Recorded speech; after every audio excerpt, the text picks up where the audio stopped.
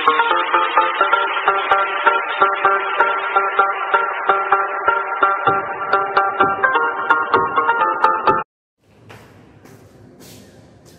morning student, welcome to Math Mathmania YouTube channel. I hope you are doing well. Today we will discuss class 10 linear equation with two variable in which we will discuss elimination method and substitution method.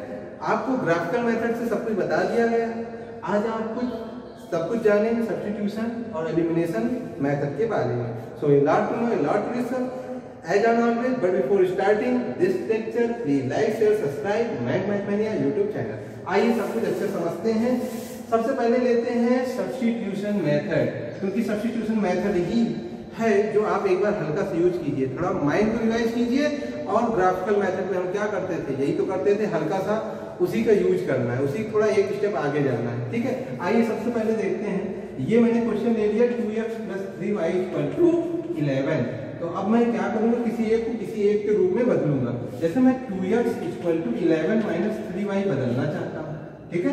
फिर देखो x बराबर क्या हो जाएगा? Eleven minus three y upon two हो जाएगा, क्योंकि to multiplication में इधर आएगा अब एक्स का मान ये वाला जो निकला है, ये फ़र्स्ट इक्वेशन है ये फ़र्स्ट के बाद ये सेकंड है और ये जो निकल के आए थर्ड है। इस थर्ड इक्वेशन को जिसमें से निकाले उसमें उसमें नहीं रखना है। नहीं तो आप फिर से वही वैल्यू पा जाओगे। उसमें रखना है जिसमें आपने कुछ नहीं निकाला है। मैं देखना चाहूँगा वैल्यू माइनस ट्वेंटी फोर है, ठीक है। तो यहाँ क्वेश्चन नंबर सेकंड में मतलब इक्वेशन नंबर सेकंड में ये वैल्यू पुट कर देंगे। तो जैसे यहाँ पुट करोगे तो आप देखोगे टू यक्स की वैल्यू ये रखिएगा ठीक है? Eleven minus three y upon में टू ये वैल्यू आपको क्या करना है? रखना है। फिर देखिए minus four y equal to minus twenty four अब आपके पास सब चमत्कार रूप में वाई निकल के आ गया। देखिए वाई की वाई दिख रहा है। तो अब देखिए, इस टू से इस टू को काट दीजिए। इलेवन माइनस थ्री वाई ठीक है? और minus four y equal to minus twenty four अब आप देखोगे फोर वाई और थ्री वाई मिलके सेवन वाई हो जाएगा। ये इधर आएगा तो minus twenty four minus eleven हो जाएगा।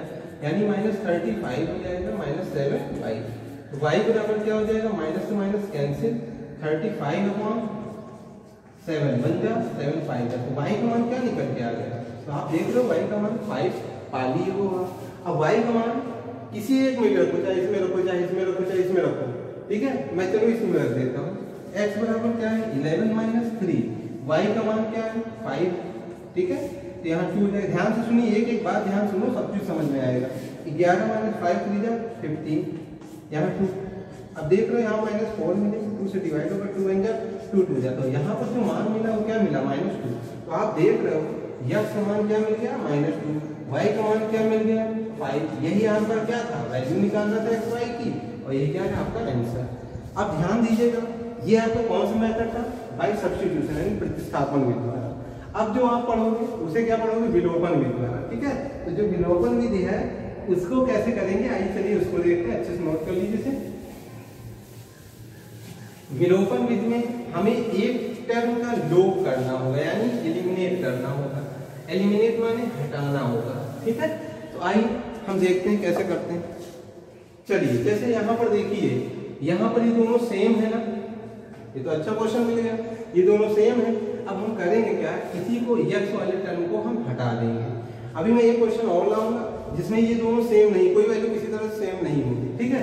तो अब देखिए यहाँ पर, जैसे यहाँ पर वैल्यू अलग अलग है, ठीक है? आपको मैंने बताया, एक टर्म को एलिमिनेट करना, मैं कैसे एलिमिनेट करूँगा?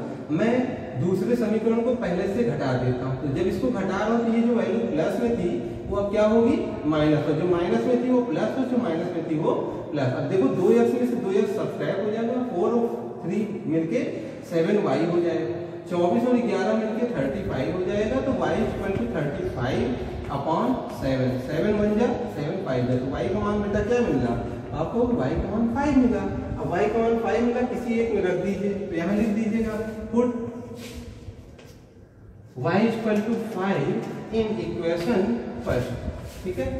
इक्वेशन फ़र्स्ट में ये मान रख दीजिए अब जैसे y बराबर फाइव रखते हैं two x plus three into y y का मान फाइव इलेवन फाइव थ्री जा fifteen equal to eleven two x इतना ठीक है?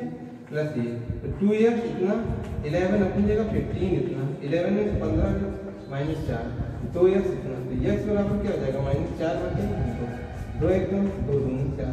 तो आप देख लो माइनस टू वैल्यू निकल के आ रही एक्स एक्स का मान क्या निकल के आ गया? माइनस टू वाई का मान हाँ उसमें भी एक्स का मान माइनस टू का मान। मतलब चाहे मेथड आप कोई भी लगाओ आंसर तो एक ही आएगा। ठीक है? तो यहाँ से समझ गए अब मैं एक क्वेश्चन ऐसा ले निकल रहा जिसमें ये दोनों अभी सेम थे ना, अभी सेम नहीं रहेंगे। ठीक है? ये सेम नहीं रहेंगे। आइए चलिए देखते हैं क्वेश्चन क्या है। क्वेश्चन जैसे मैंने बुक से दिया बुक में क्वेश्चन थ्री बाई टू चलिए अपाउंड वाला देख लीजिए। थ्री बाई टू या minus five by three y ठीक है? इक्वल टू क्या है? माइनस टू है। ये बालाजी का एग्ज़ाम्पल है बेटा। X by three plus y upon two equal to thirteen by six ठीक है? ये सारी चीज़ आप देख लो। अब हम